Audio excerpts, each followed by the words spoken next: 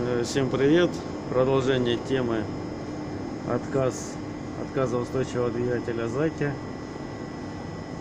По гарантии нам заменили, установили, вернее, вот такой вот шкаф, заменили все сервопривода с новыми разъемами, другого похоже на микро USB.